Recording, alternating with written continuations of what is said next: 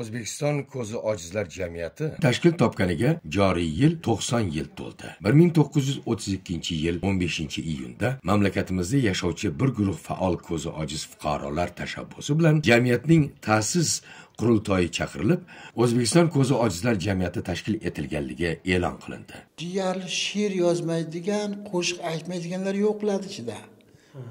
Nega deb so'rang chunki men e, termiz davlat universitetiga o'qishga qabul qilganman bularni bular shunaqa ekanman deb boya aytdim so'zimda to'xtab qoladigan insonlar emas bular. Bular harakatda doim harakatda. O'tirib qolganini ko'rganim yo'q bularni men. Doimiy ishda ko'zi ayrim jamiyatshunosmanda hozir bitta davlatimiz tomonidan temir daftar ayollar daftari degan daftarlar tuzilgan. Mana shu ro'yxatga kiraman deb очередьga turganlar mahallaga janjal qilib borganlar qancha? Ko'zi ojiz emas ularda. To'rt muchal butun harakatlansa pul topadi. Lekin bularning birontasi bormaydi shunga. O'zbekiston ko'zi ojizlar jamiyati ko'rish bo'yicha nogironligi bo'lgan shaxslarning ixtiyoriy a'zoligiga asoslangan nodavlat notijorat tashkilot bo'lib u ko'zi ojizlarning huquq va manfaatlarini himoyalash ularni ijtimoiy qo'llab quvvatlash reabilitatsiya qilish ijtimoiy integratsiyalash teng huquqligini hamda teng hayot imkoniyatlarini ta'minlashga ko'maklashish uchun respublika miqyosidagi jamoat birlashmasi tashkiliy huquqiy shaklida tuzilgan. Jamiyat tizimidagi qoraqalpog'iston respublikasi viloyatlar toshkent shahar bo'limlari shuningdek tuman shahar va tumanlar aro bo'linmalari o'zbekiston respublikasi adliya vazirligining tegishli idoralarida davlat ro'yxatidan o'tgan va yuridik shaxs maqomiga ega. O'zbekiston ko'zi ojizlar jamiyati faoliyati quyidagi tamoyillarga asoslanadi.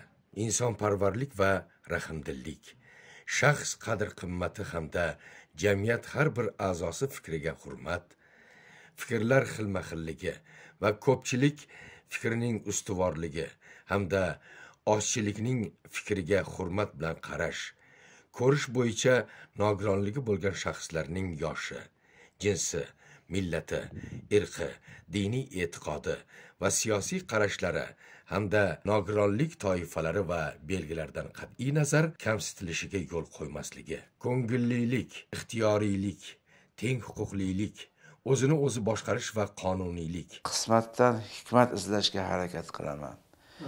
Agar man shu ko'rish bo'yicha nogironligi bo'lgan shaxs bo'lmaganimda balki e, men bu darajaga yetmasligim ham mumkin edi.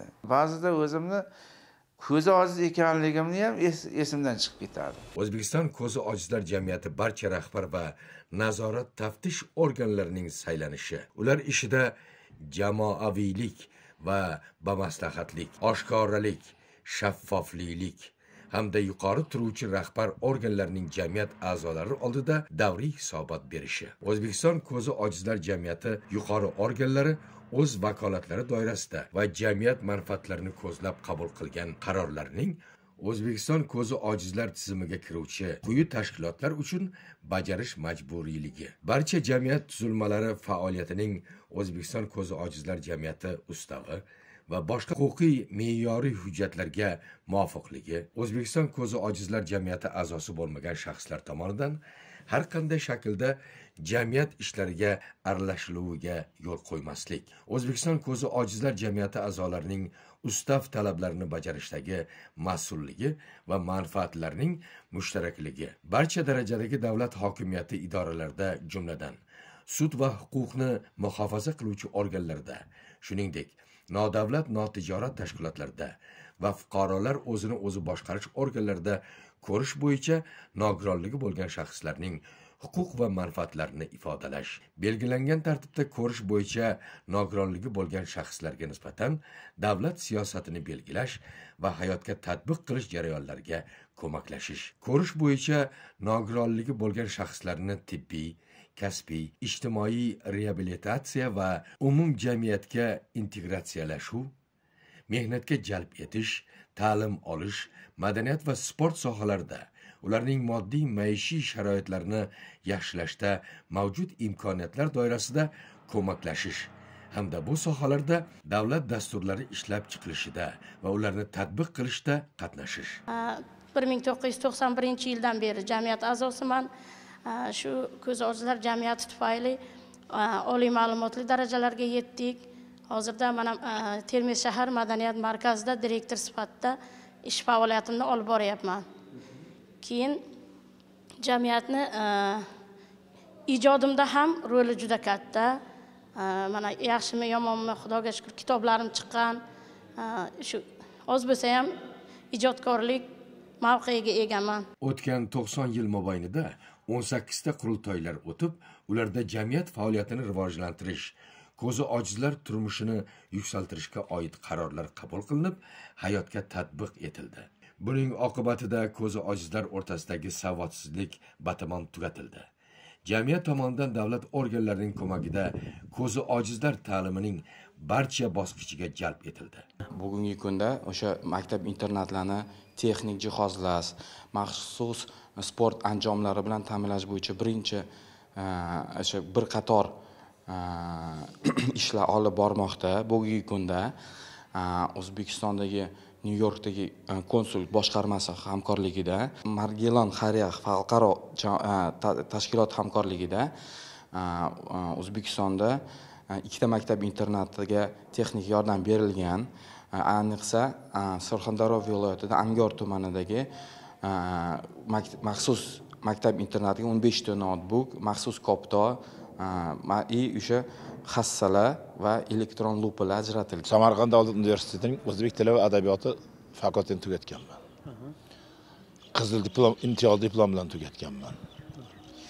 bir ming to'qqiz yuz sakson birinchi yildan to ikki ming o'n beshinchi yilga qadar bo'lgan davrda man o'zi o'ttiz to'rt yil mobaynida o'sha maktabda o'zbek tili va adabiyotidan dars berganman. o'n bitta olimpiadadan respublika olimpiadasida shogirdlarim chiqqan. Maxsus maktablar bo'yicha bo'lgan olimpiadalarda o'n bitta o'quvchi g'olib chiqqan. Shuningdek mana o'zbekiston xalq hofizi oralmirzo safarov mani ham tug'ishgan ukam ham shogirdim bo'ladi. Mamlakatimizning turli hududlarida tizim tasarrufida ishlab chiqarish korxonalari tashkil etilib ularda bunday fuqarolarning bandligi ta'minlandi. Boshqa tizimlarda qulay ish o'rinlariga ishga joylashishlariga ko'maklashildi.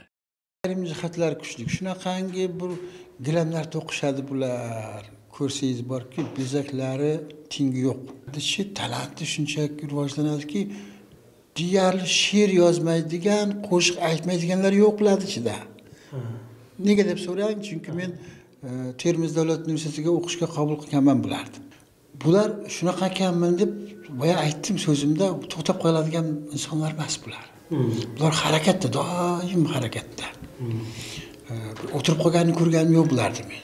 Doimiy ishda ko'zi ayrim jamiyatshunosmanda hozir albatta e, ularni sport bilan shug'ullanishlarida san'atga oshno bo'lishlarida o'z qiziqish va iqtidorlarini namoyish etishlarida jamiyat tomonidan o'tkazilayotgan turli xil madaniy ma'rifiy sport sog'lomlashtirish hamda reabilitatsiya tadbirlari muhim ahamiyat kasb etmoqda. Biz ko'pincha qahramonlarni turli xil badiiy asarlardan kinofilmlardan izlab yuramiz.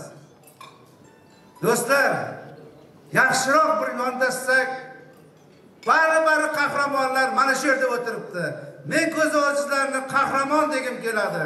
Chunki ular farzand tarbiyalab el yurtga yaxshi bir suyukli farzandlar yetishtirib beryapti. Ular mehnat qilmoqdalar. Buni his qilish uchun bir ko'zingizni yumib to'rt besh qadam balki olti yetti qadam yurib ko'ring. Shundagina ko'zi ojizlarni hayotini shundagina hayot bo'lganda ham kurashib hayot kechirayotganligini his qilasiz.